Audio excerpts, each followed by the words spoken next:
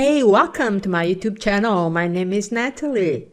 In this tutorial, I create and design a custom post type template with the new Kadence Theme Builder feature. Plus, I have dynamic data, so you don't need to recreate it over and over again. Before we get started, please support the channel by giving a big thumbs up and to subscribe to the channel. It's free and means a lot to me. In the first video part, I make the single custom post type template and the second part is dedicated to make the archive custom post type templates.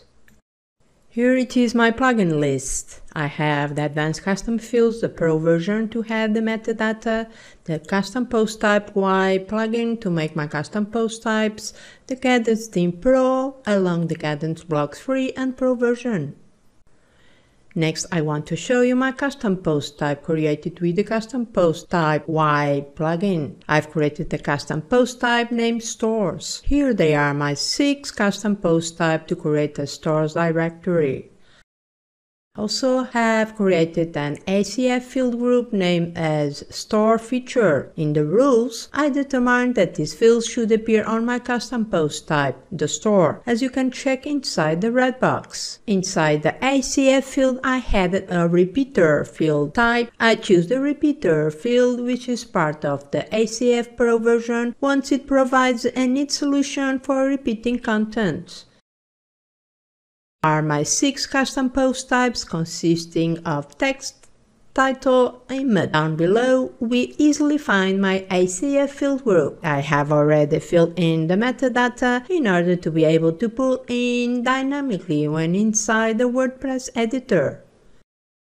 The step I want to make is my single custom post type template. Before we dive deeper, let's check if the Hooked Elements is already enabled. Head over to Appearance Kadence Dashboard. From there, make sure you toggle on the Hooked Elements feature inside there. Click now on the Kadence Elements menu to create one. As you can see, the new Kadence theme feature is here.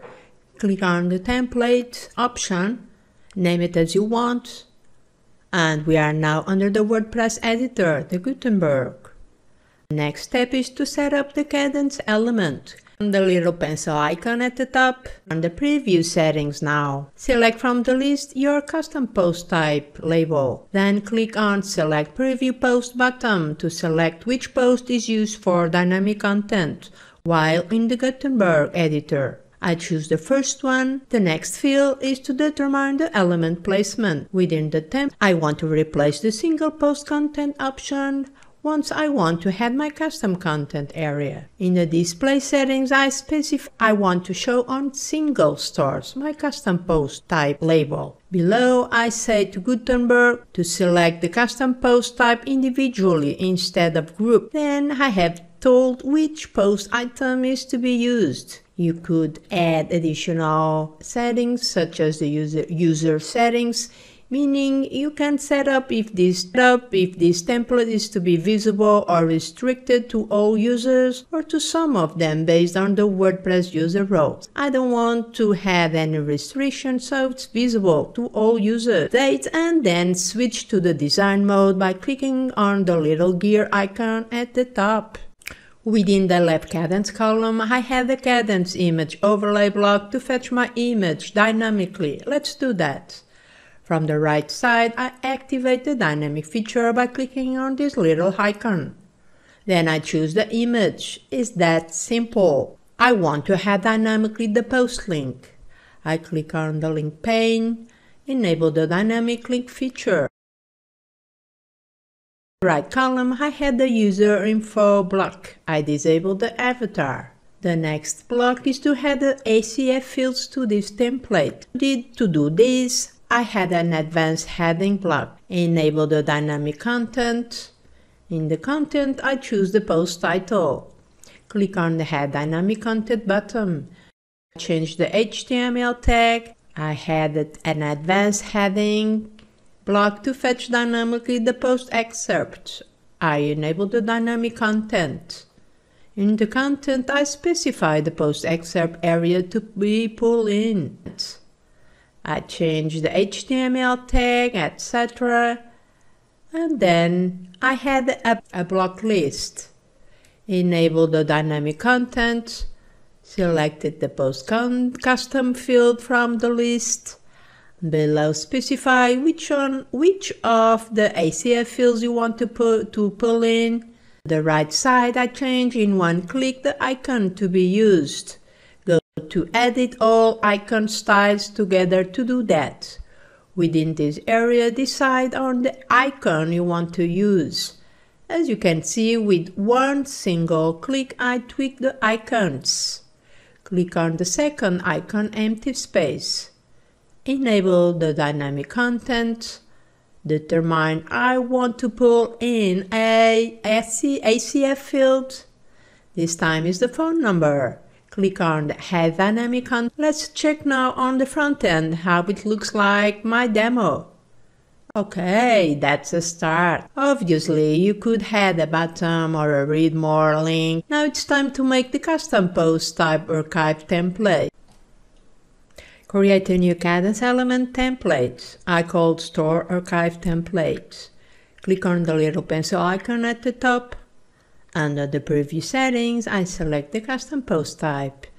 And then I choose the custom post type to use as a preview. The placement is to replace archive loop template to be shown on star archives. I had an in a Kadence full width row layout as the container. Inside there I placed an advanced heading block to pull in the post title. I activated the dynamic content and it's a very straightforward process. The next block is another and advanced heading block to fetch the post excerpt. I adjust the font size.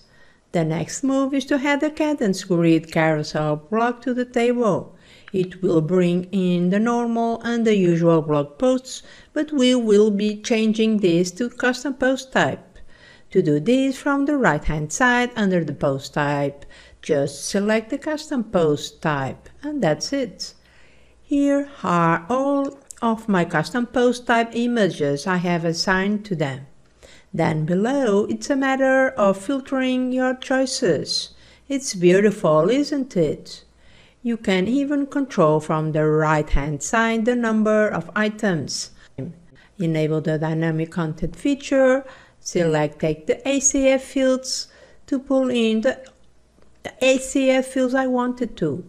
For the second and the third icon list, I have inserted from the WordPress database all my ACF fields. Let's check now. Here is the archive page. When I click on it, it opens up the single custom post type template. This concludes this introduction to Kadence Elements templates released in a few days. With this new technology, Kadence has brought more powerful features. We now have full control over the design layouts, we can now decide what content gets displayed. We control the where, the when, and to whom. It's an incredible new way to play the game without the need to require the developer. This is my honest opinion. So I hope you found this video useful to you. Please leave a big thumbs up if you like it. Subscribe to the channel if you want to be notified about new releases. Thank you so much for watching. I catch you in my next one.